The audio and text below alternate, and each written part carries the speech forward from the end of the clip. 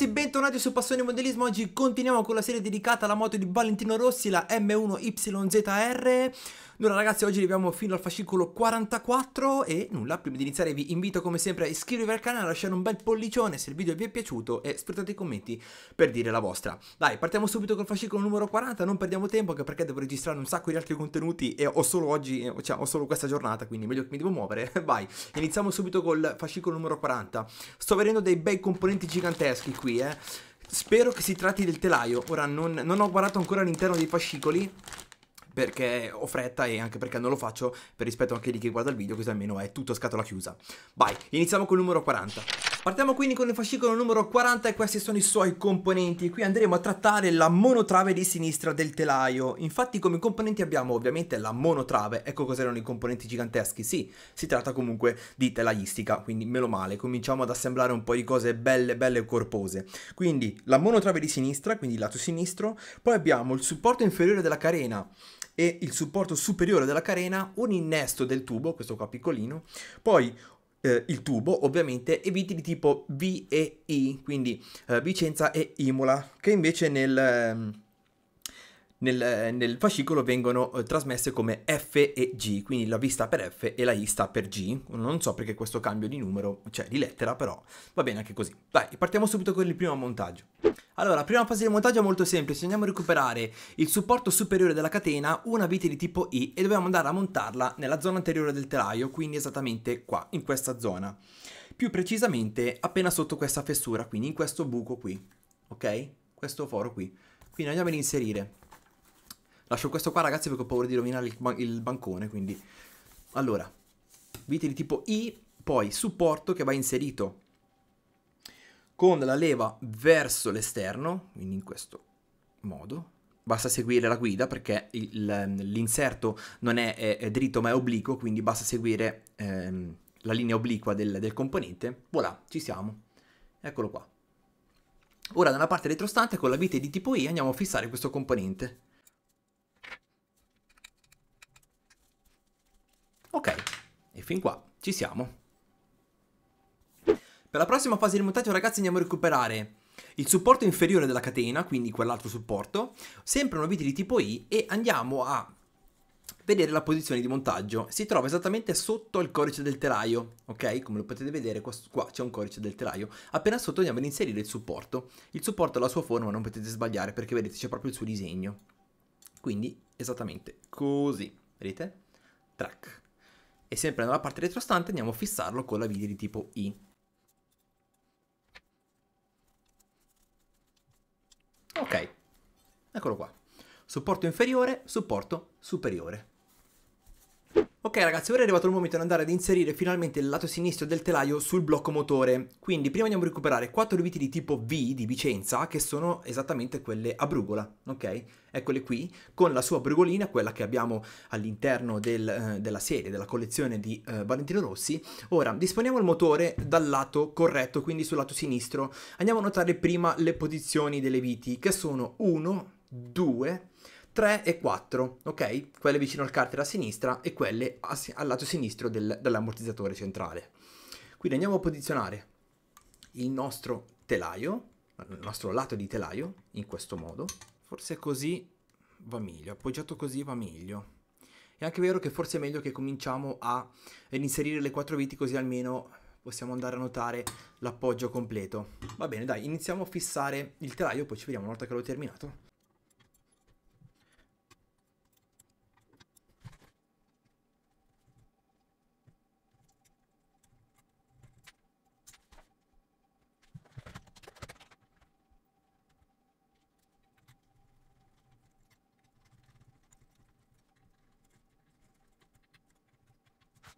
Ok, ce l'ho fatta alla fine. Ho dovuto cambiare arnese perché la brugola risulta un po' scomodina, ragazzi, più che altro a tirare. E quindi ho eh, deciso di recuperare questo cacciavite con eh, la, eh, insomma, il suo, il suo brugolino, chiamiamolo così, il suo inserto, ecco, della misura corretta, e ce l'ho fatta. Sì, alla fine quando tirate tutte e quattro le viti vanno correttamente in sede. Perfetto, perfetto. Ragazzi, il numero 40 termina così, direi di passare subito al numero 41.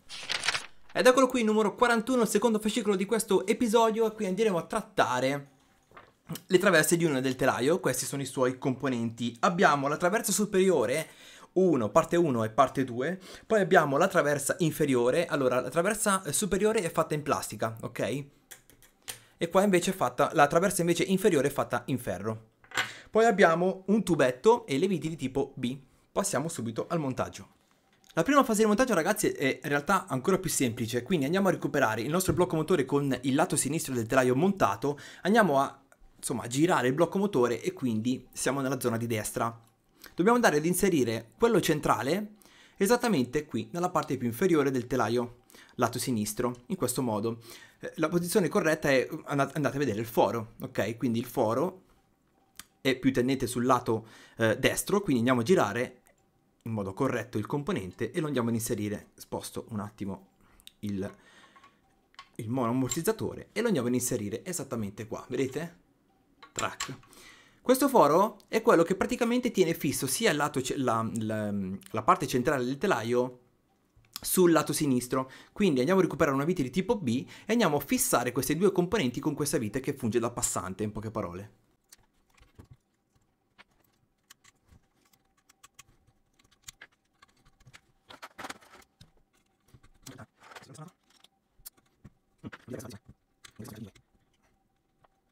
Allora, queste viti qua sono pericolose perché mi ha preso, sì, due fuori, però...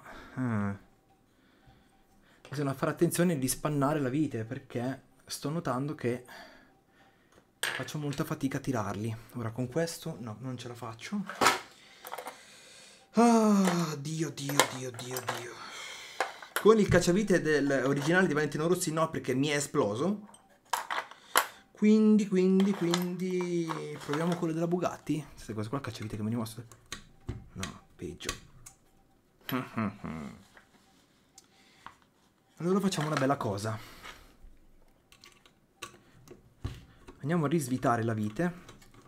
Vado a fare il filetto prima su questo componente, perché è qua che non mi entra. È qua che non mi è stata fatta la filettatura e quindi devo sclerare. Ora, queste, non so se queste clip ve le metterò ma giusto per farvi capire.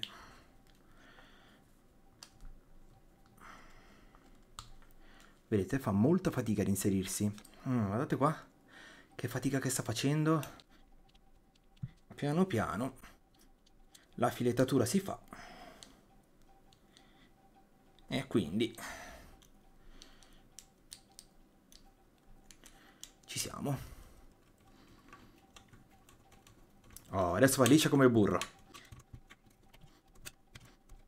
Queste viti qua ragazzi dovete stringerle il più forte possibile perché sono le viti che tengono il telaio, ok? La struttura del, nostro, del vostro modellino, quindi mi raccomando. Assicuratevi che le vite siano ben salde, ben, ben salde, scusate, ben salde. Ok, dai, fin qua ci siamo. Allora, adesso mettiamo da parte un attimo il blocco motore e il telaio e andiamo a recuperare il tubetto e l'innesto del tubetto, ok? Allora, questi qua sono i componenti nel fascicolo 40, non 41, quindi non non cerchiamo di confondere i componenti. Vedete che questo qua nel fascicolo 41 è molto più lungo rispetto a quello del fascicolo 40. Questo è del fascicolo, è del fascicolo 40, quindi andiamo ad inserire il tubetto del fascicolo 40 all'interno dell'innesto che era sempre all'interno del fascicolo 40. Ok, lo andiamo a inserire fino in fondo, in questo modo. E questo innesto va inserito, andiamo a girare il blocco motore nella zona corretta va inserito esattamente qui, vedete, in questo perno. Ed è l'unico perno che viene in fuori della testa. Andiamo a inserire il tubicino vicino a questi componenti e poi andiamo ad inserirlo nel suo pernino, fino in fondo. Ok, il tubicino lo lasciamo scendere verso il fondo del blocco, in questo modo. Ora, quello che ci spiega il fascicolo è quello di andare a recuperare le due componenti del, della traversa superiore, le due metà della traversa superiore ed andare ad unirle. Anche qui ragazzi molto molto semplice, abbiamo due fuori e due perni e quindi li andiamo ad unire. Uno e due. È roba di plastica quindi sempre con delicatezza.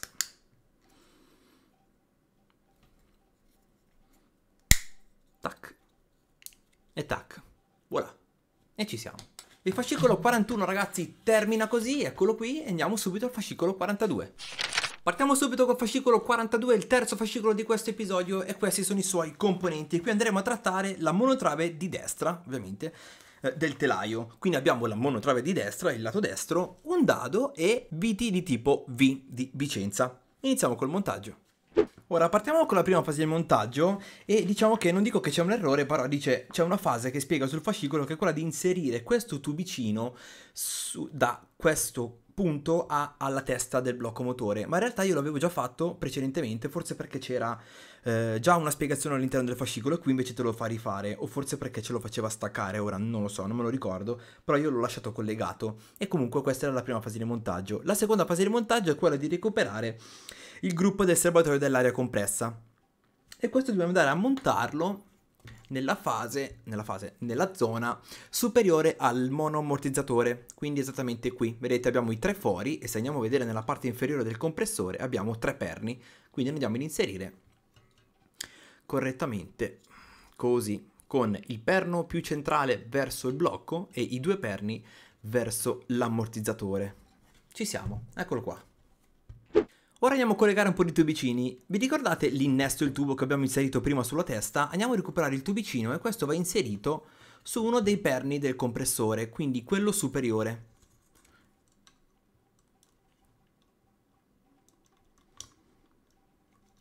Ok.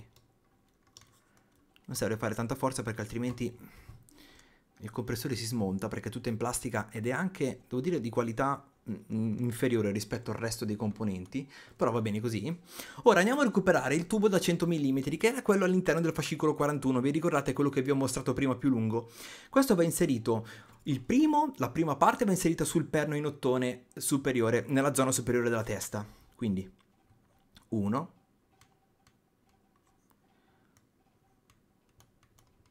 voilà, e quell'altro lato invece va inserito nella, nel, nel perno inferiore del compressore. E qui ragazzi se non riuscite a inserirlo aiutatevi con una pinzetta ma io ce la faccio. Ora, questo tubo qua lungo, non so dove andrà a finire, lo scopriremo poi più avanti, però questo qua me lo fa passare esattamente così per essere più ordinato. Eccolo qua, vedete? Tubo da 100 mm dalla testa al perno inferiore del compressore, tubo dell'innesto dalla testa alla, al perno superiore del compressore. E ci siamo. Come ultima fase di montaggio recuperiamo la traversa superiore, quella in plastica che abbiamo montato precedentemente, e dobbiamo, e dobbiamo andare ad inserirla nel foro, in questo foro ehm, del telaio. La posizione ragazzi è semplicissima perché è, insomma sui eh, lati del, dell'inserimento, quindi sugli inserti, sono presenti dei centraggi. Quindi andiamo a inserire il centraggio nella posizione corretta e voilà, andiamo a spingerlo fino in fondo. I fori devono essere rivolti verso il frontale della, ehm, della nostro, del nostro modellino, della nostra moto. Ecco qua, ci siamo. E lo lasciamo appoggiato così perché il fascicolo in realtà ragazzi termina così. Non ci spiega nient'altro. Quindi anche il fascicolo 42, eccolo qua, termina così, passiamo subito al 43. Quindi partiamo con eh, il penultimo fascicolo di questo episodio, il numero 43, e questi sono i suoi componenti, semplici componenti che prendono anche il titolo del fascicolo, quindi il perno del forcellone, il dado e il copri dado, semplicissimo. Vai, torniamo sul blocco motore e sul telaio. Nella prima fase di montaggio nel fascicolo 43 andiamo praticamente ad unire le due monotravi, quindi quella sinistra con quella di destra.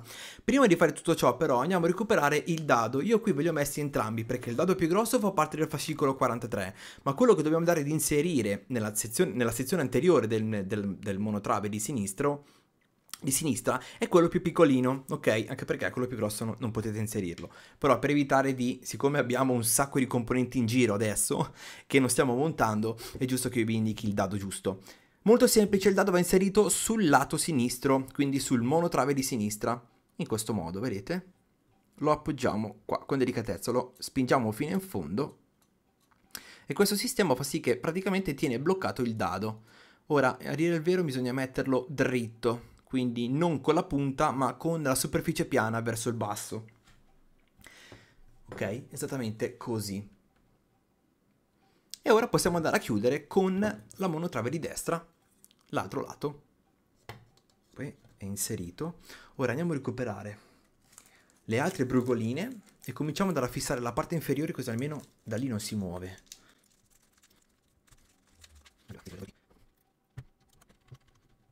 Mm, ok, vedete, una volta che tirate comunque già le viti nella sua posizione corretta, queste qua sono le due brugoline, quindi le V di Vicenza. Una volta che già centrate le sue viti giuste,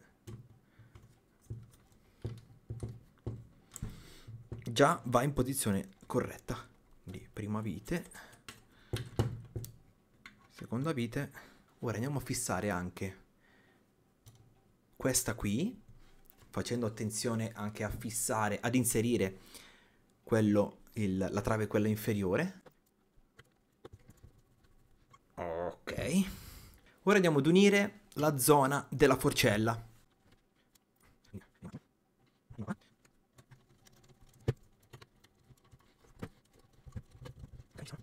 Mi ha preso, però prima di tirarle entrambe vado a fissare anche quella inferiore. Questo montaggio non sarà velocizzato perché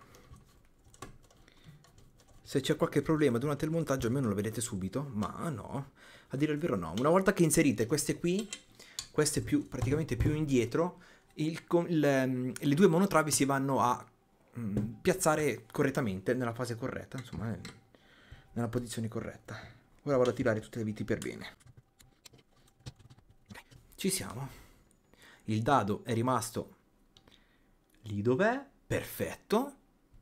Ora, ultima occhiatina. L'ultima cosa che mi rimane è quella di andare a inserire una vite di tipo B sulla trave inferiore, quindi qua. Esattamente qua.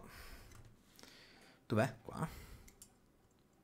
E questa era quella, ragazzi, se vi ricordate, quella in cui ho dovuto, in cui ho dovuto fare il filetto, solo che in questo caso non lo posso più fare perché il telaio è montato, quindi sperando che non mi crei casini e si infili correttamente.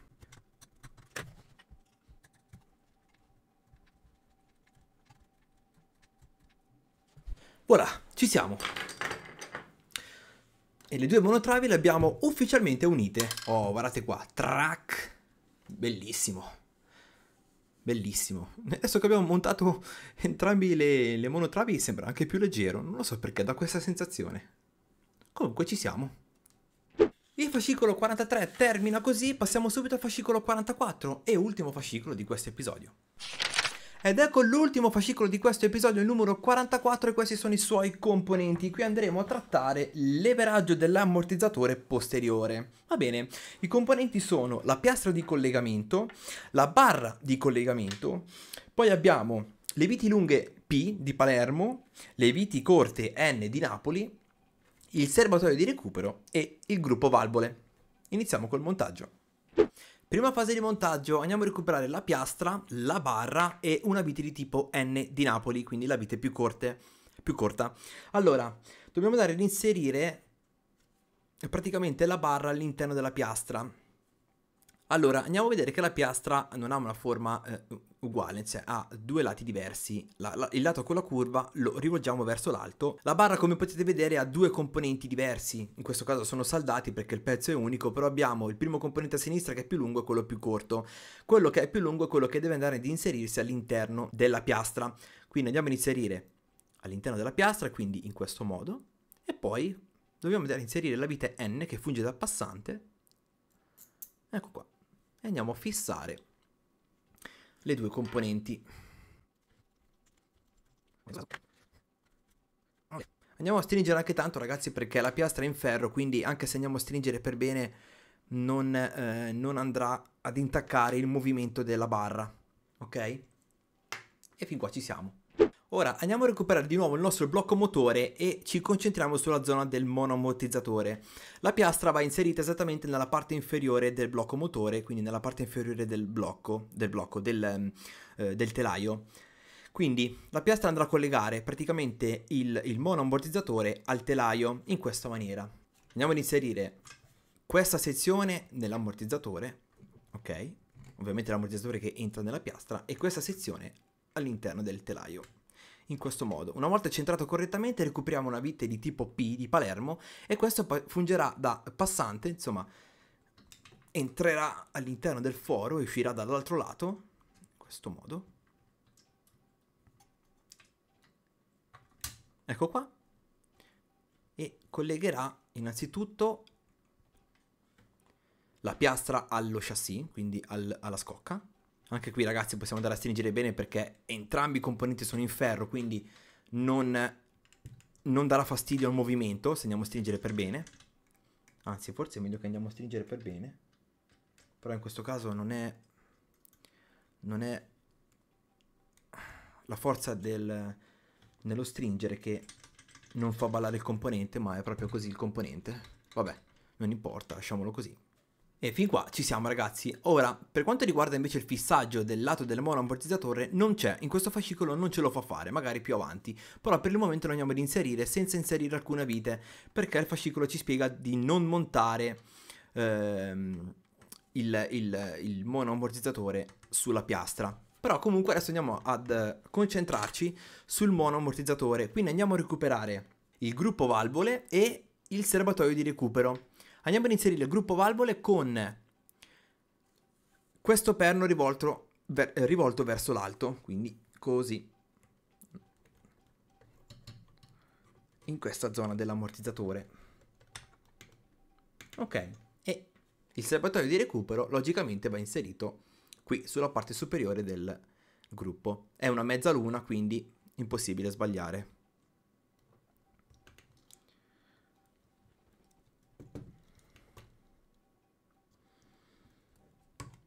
Ok. Sì, voi magari non fate come ho fatto io, magari inserite prima il, il serbatoio di recupero sulla valvola e poi inserite la valvola sull'ammortizzatore. magari vi viene un po' più comodo rispetto a come ho fatto io. Comunque, raga, ci siamo. Ora vado ad inserire di nuovo il monoammortizzatore nella piastra e ci siamo. Il fascicolo 44, ragazzi, termina così come termina così tutto l'episodio. E quindi ci siamo anche alla fine di questo video ragazzi, spero che vi sia piaciuto, se vi è piaciuto lasciate un bel pollicione, anche se vi è d'aiuto come video ragazzi, perché in fin dei conti è un tutorial. E ragazzi, io vi invito sempre, come sempre, ad iscrivervi al canale perché è importantissimo Iscrivendovi al canale, lasciate un bel like e sfruttando i commenti, diciamo che date un bel supporto a questo canale e quindi mi, insomma, mi dà la possibilità di continuare a portare questi contenuti.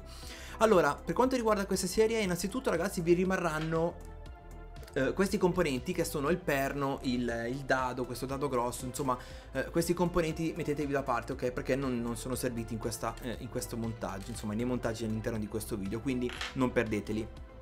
Per quanto riguarda invece la serie, noi ci vediamo quando arrivano i prossimi componenti.